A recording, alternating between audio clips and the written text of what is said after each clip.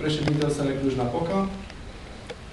Um, sunt în USL din 2016 de când am fondat filiala. Uh, sunt preocupat de oraș și am făcut am mulți ani de voluntariat în spate și vrem să vrem să construim un oraș care este conectat la cetățeni și unde politicile se fac în primul rând pentru, pentru cetățeni.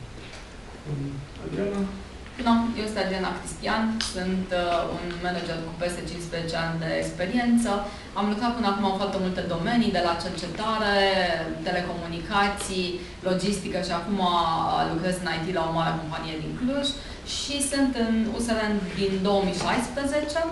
Uh, iar acum, în uh, acest video local, din funcția de vicepreședinte, îmi doresc foarte mult ca programul nostru, cu care venim în fața cetățenilor uh, pentru alegerile care urmează să fie foarte bine conectat la nevoile uh, cetățenilor. Dincolo de asta, consider că este foarte important ca programul să fie realist, să nu mai povestim despre acele lucruri extraordinare, dar care probabil se vor întâmpla în 20 de ani, 30 de ani. Adică vrem să, să fim corecți față de, față de alegători și față de cetățeni.